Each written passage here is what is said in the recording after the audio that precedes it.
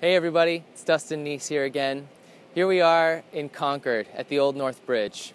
This is where I've been working on my latest painting, and I've been working on it for over a year now, so I've gotten to know this place pretty well.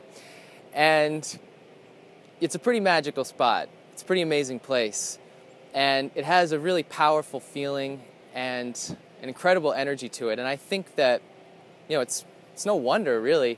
I mean, this is where Daniel Chester French's statue of the Minuteman is, and this is where the shot heard around the world took place. It's where the American Revolution began. And this place really resonates with me because it was where a group of simple people decided that their level of discontent and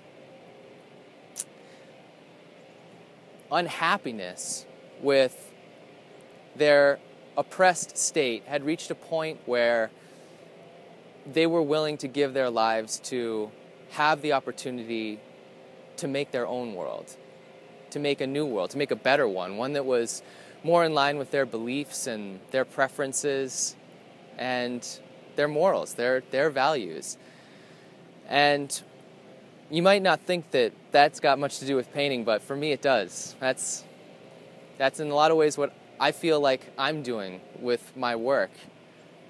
You know, when I see the news, the off chance that I see the news, or you know, look on the internet, we're constantly bombarded with crap. You know, some of the darkest, de- most depressing, uh, fear-inducing stuff, and you know, I've found that you know I'm a sensitive guy, and I have to.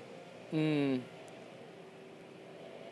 not insulate myself from it, but if I'm gonna acknowledge that that exists and that's happening in the world, I need to feel like I can do something about it.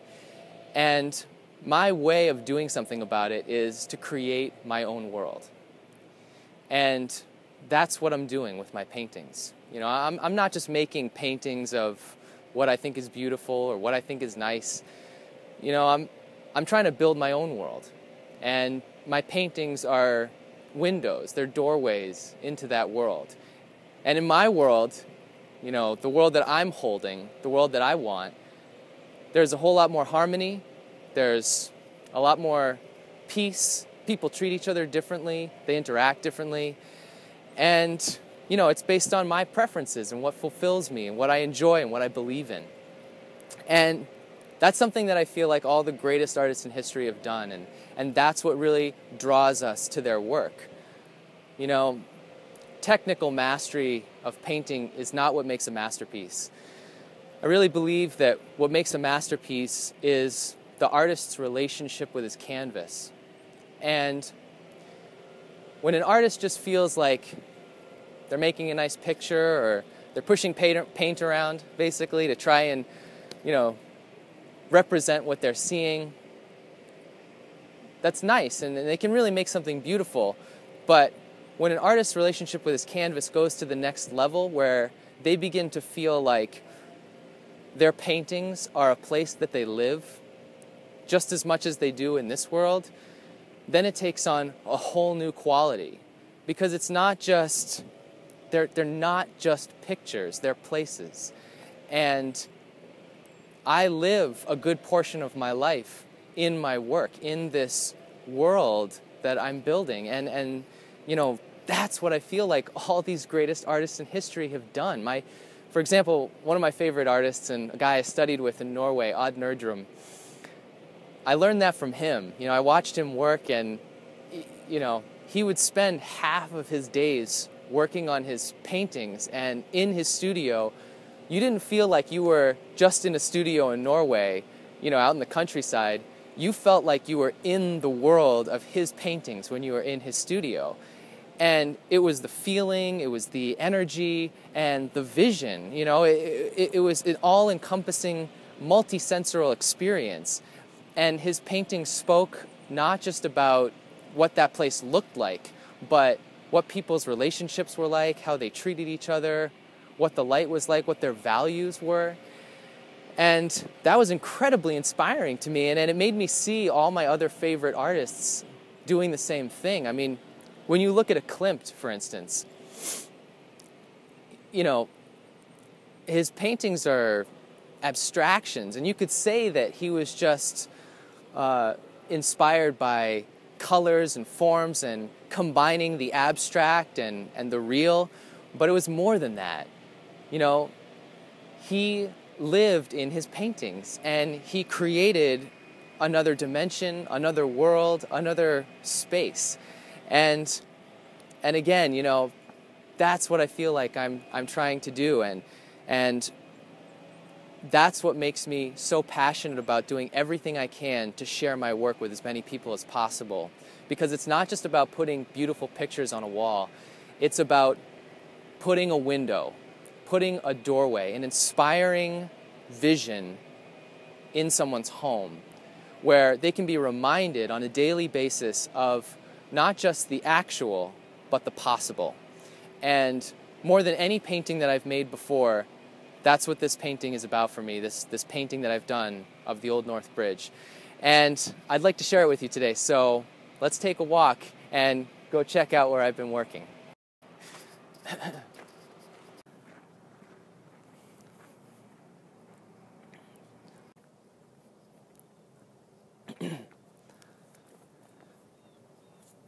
All right, so here we are. Here it is, my painting of the Old North Bridge.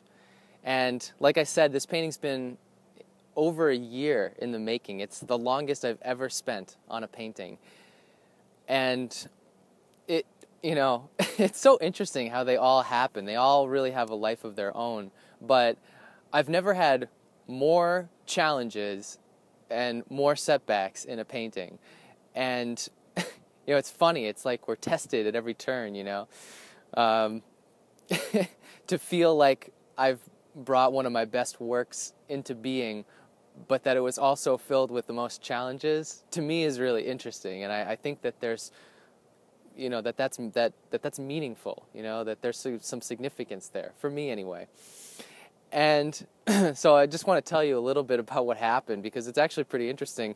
Um, I started it last year in September, and you know I got about mm, two weeks into the painting, and I had I had stretched this big canvas, bigger than this one actually, and because uh, I was so excited about it, you know, when you find that new painting, that new uh, image, that new vision.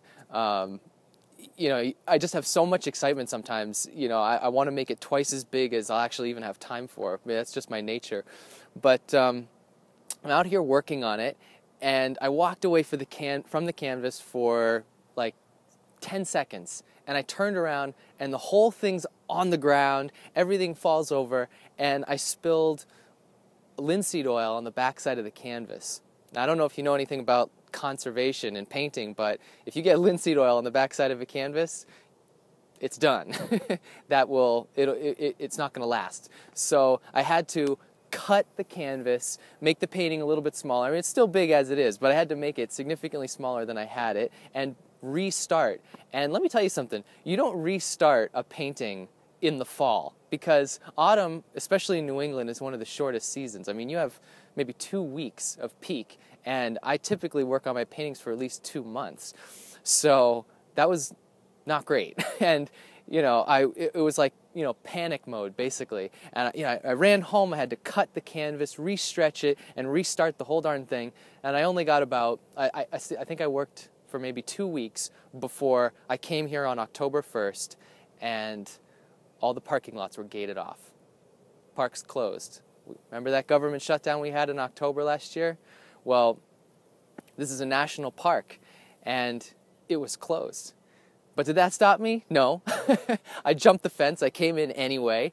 Uh, you know, I set up and I worked for about a week until one of the park rangers had to say, you know, I'm sorry, but it's my job to tell you that the park is closed and, and you have to leave. So, you know, it's a little disappointing. And I said, you know what? I don't care. You know, regardless of the challenges, I'm going to finish this painting because it's, you know, eh, you know, eh, I really felt even then that it had so much potential.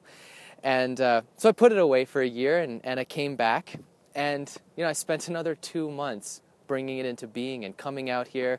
And you know, we've had some pretty interesting weather, and it, has been wild. And and you know, working outside like this, you know, I, I know a lot of artists and even people that I meet out here when I'm working who just think it's crazy what I do. You know, why aren't you in a studio? Why aren't you just taking a picture and, and working on it at home? And it really, it all comes back to what I've been talking about.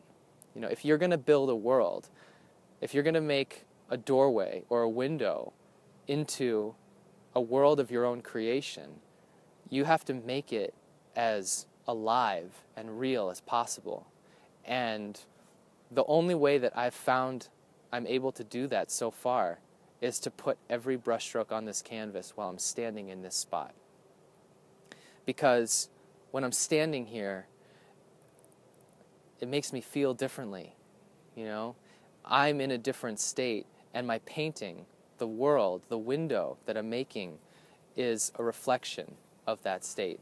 So, anyway, that's my story. you know, that's my story of the Old North Bridge, and that's my story of how paintings are not just paintings, but and artists are not just painters. They're creators of worlds for us to explore and to, you know, expand our minds and our sense of what's possible. So thanks for watching. And uh, if you're on my mailing list, you know that I'm going to be sending out a free high resolution download of this painting.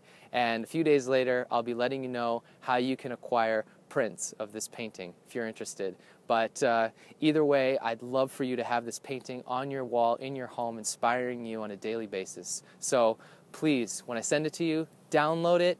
You know, keep it on your computer, print it out. You know, frame it, do whatever you like, buy a print. Uh, you know, bring it into your life, and and and you'll help me be. Mm, doing my job and fulfilling my you know what gives me purpose and, and meaning in the world. So thank you so much. I'll talk to you soon. Stay inspired, stay expansive, keep creating.